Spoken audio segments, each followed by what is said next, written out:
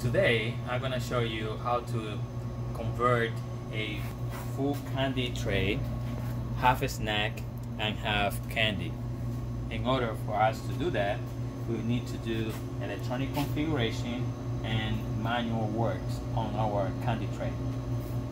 So first of all, we open the door, we press, um, we enter a 3333 four times as our PIN, and that will uh, allow us to gain access to the main menu.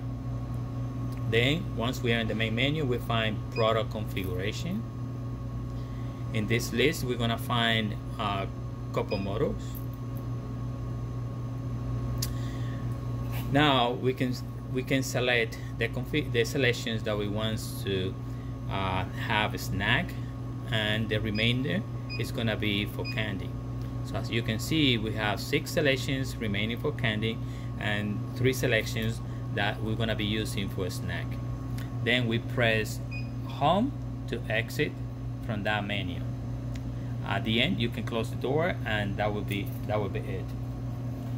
Now our manual work, we wanna be we want to take the labels for the even numbers and reverse the label because we're not going to be using that selection anymore.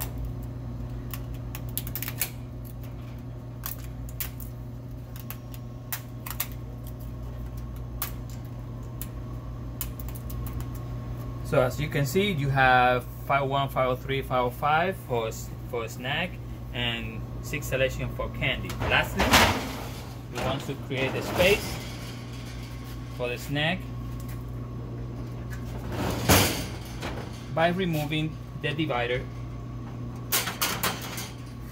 for each of the selections that we're going to be utilizing it for snack.